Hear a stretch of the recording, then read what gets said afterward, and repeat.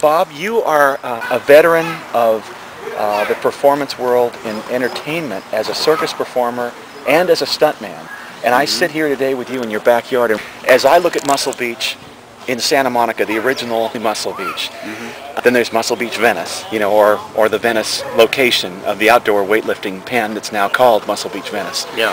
How do you, how, you know, for me looking at Muscle Beach from the outside in, being more into bodybuilding and weightlifting, I don't see the, the, the, the fine lines between the different performance aspects of circus, stunt, gymnastics, adagio. I see those things as a spectator.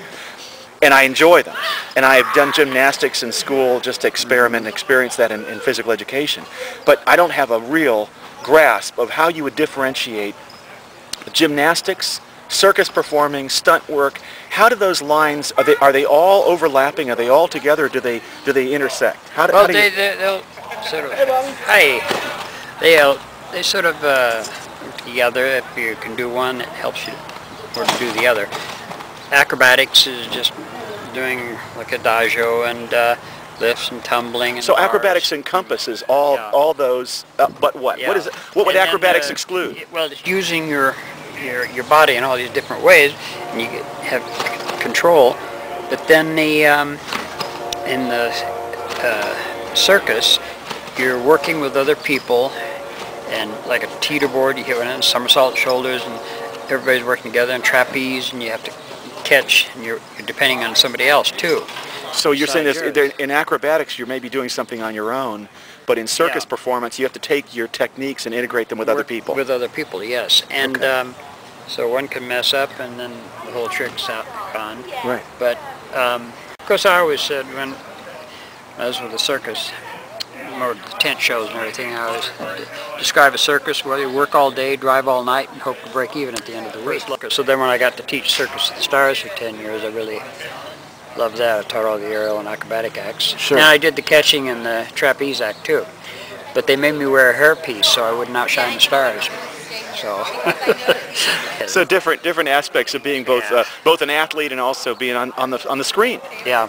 Okay. And um, so whenever we get a circus film or something, well, that was always like the big circus for Irwin Allen and my partner double Tony Curtis and trapeze and Cornel Wilde and the greatest show on earth. And, and we get all these circus films and everything. That's fun.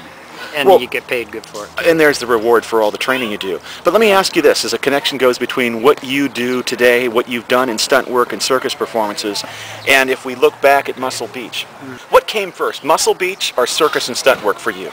Well, it's Muscle Beach. When I was 11 years old, I wandered down there, wanted to play ping pong, and then Mo, the playground director, well, he said, wouldn't you rather do acrobatics? And I said, I don't know. He put me on the shoulders, and I was hooked. So I just started learning different types of acrobatics and stuff, and I, I really loved it.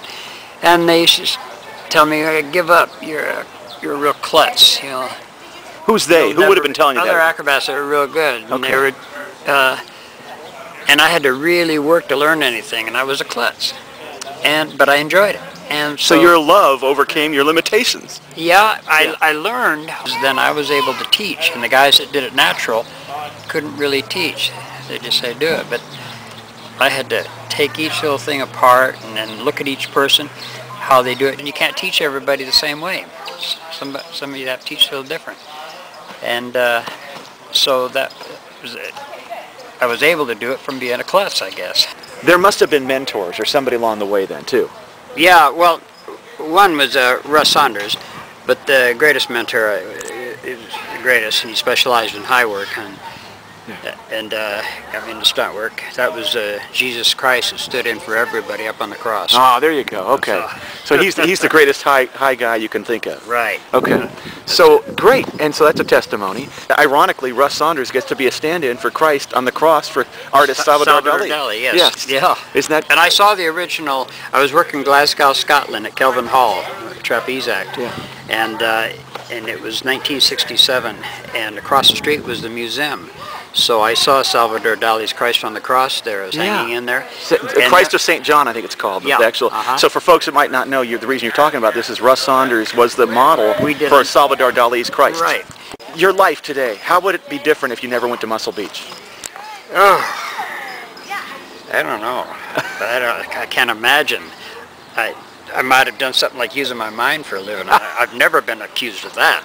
Just my body.